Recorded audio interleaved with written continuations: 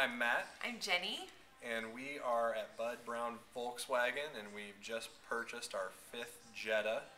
And we came back to Bud Brown because our friend Jim McNeil has been so good to us over the years. Mm-hmm. We're buying our third car from Jim. We also have a Volkswagen Routan that he sold to us as well. Uh, all I can say is we're treated like family here, and that's why we keep coming back.